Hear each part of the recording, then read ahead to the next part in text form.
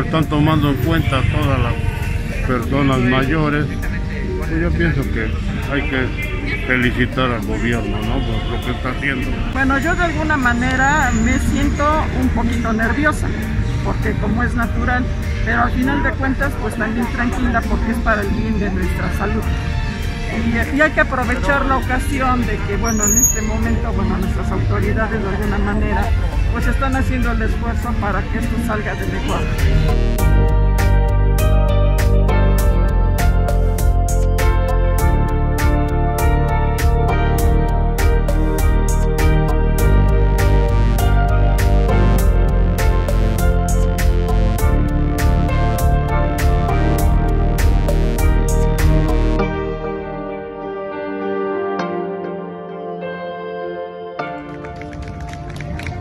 Salen las primeras personas que han sido vacunadas en la ciudad de Puebla